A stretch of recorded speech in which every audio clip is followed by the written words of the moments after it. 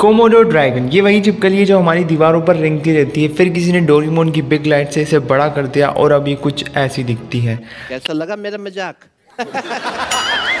खैर मज़ाक से हटकर कोमोडो ड्रैगन दुनिया की सबसे बड़ी छिपकलियों की श्रेणी में आती है। ये डायनासोर और छिपकली की रिश्तेदार लगती है यानी कि ये डायनासोर की प्रजाति और छिपकली की प्रजाति से काफ़ी ज़्यादा मिलती जुलती है।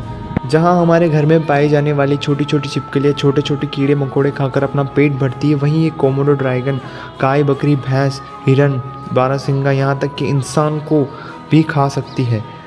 कई लोगों ने इसे अपना पालतू बनाकर पालने की कोशिश करी, मगर ये उन्हें ही खा गई। इसे पालना काफ़ी डेंजर है। इसकी हाइट 10 से 15 फीट की होती है। इसका वज़न 100 से 150 किलो होता है। अब आप देख लीजिए ये कितनी खतरनाक हो सकती है। वीडियो अगर ज़रा से भी इन्फॉर्मेटिव लगी तो प्लीज़ यार चैनल को सब्सक्राइब करें और कोमल ड्रैगन से मिले